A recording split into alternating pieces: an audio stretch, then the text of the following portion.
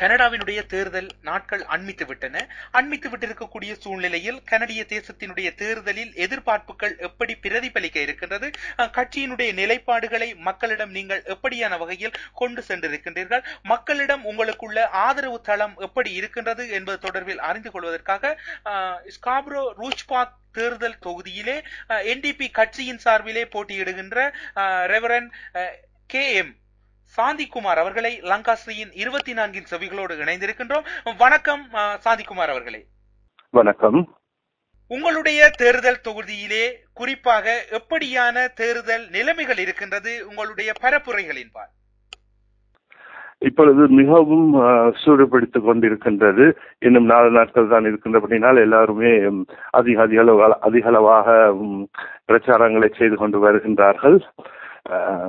எல்லோருமே மிகவும் சுறுசுறுப்பாக இருக்கின்றார்கள். அந்த சுறுசுறுப்பாக இருக்கின்ற பல்மொழி பல் கலாச்சாரங்களை உடைய மக்கள் மத்தியிலே நீங்கள் வாழ்ந்து கொண்டிருக்கின்றீர்கள். அவர்களுடைய மனநிலை அதாவது நீங்கள் ஒரு ஈழத்தமிழர் உங்களை அவர்கள் எப்படியான வகையில் உற்று நோக்குகின்றார்கள்? அல்லது அவர்கள் உங்களிடம் எதிர்பார்ப்பது என்ன? நாங்கள் வாழும் தொகுதி மிகவும் பல இன மக்கள் வாழ்கின்ற ஒரு தொகுதியானபடியினால் அவர்கள் என்னை ஒரு ஈழத்தமிழன் என்ற முறையில் பார்ப்பதில்லை. அவர்களில் ஒருவர்களாகத்தான் என்னை பார்க்கின்றார்கள். ஏனென்றால் இது வந்து பழம இனத்தவர்கள் வாழ்கின்ற இடம் என்றபடியினால் தன இனத்தவர்களுக்கும் நான் சேவை செய்ய வேண்டும் என்பதை எதிர்பார்க்கின்றார்கள். ஆனாலும் அவர்கள் எல்லாருக்கும் தெரிந்த பட்சத்திலே இந்த தொகுதியிலே அதிக தமிழ் மக்கள் வாழ்கின்றபடியினால் தமிழ் மக்கள் தமிழ் மக்கள் இரண்டு பேர் இங்கே போட்டியிடுகின்றோம். ஆகவே அவர்கள் இவர்களில் ஒருவரை தெரிந்து கொள்ள அவர்கள் எங்களை பற்றியும் எங்களுடைய கட்சியை பற்றியும் எங்களுடைய கட்சி கோட்பாடுகளை பற்றியும் மிகவும் அரிய ஆவலாக இருக்கின்றார்கள். அவர்கள் எங்களோடு தொடர்பு பேசிக் கொண்டிருக்கின்றார்கள். ஆம் இந்த சூழ்நிலையில் நீங்கள் அந்த பிரதித்துவப்படுத்துகின்ற தொகுதியிலே கணிசமான ஈழத்தமிழர்களும் இருக்கின்றார்கள்.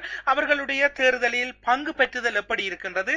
அல்லது அவர்களிடம் நீங்கள் இந்த வேளையிலே எவ்வகையான ஒத்தாசையினை எதிர்பார்க்கிறீர்கள்? இந்த முறை ஈழத்தமிழ் மக்களுடைய பங்கு மிகவும் அதிகமாக இருக்கின்றது. ஏனென்றால் இந்த தொகுதியிலே இரண்டு தமிழ் மக்கள் போட்டியிடுகின்றோம்.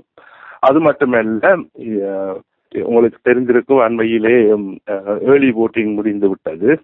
பலர் அதிலே சுறுசுறுப்பாக வாக்களித்தார்கள். இந்த முறை சென்ற இல- தேர்தலிலும் பார்க்க அதிகமான அளவு மக்கள் இந்த இந்த ஏர்லி ஓட்டிங்கில் பங்கு பெற்றினார்கள் என்று அறியப்படுகின்றோம்.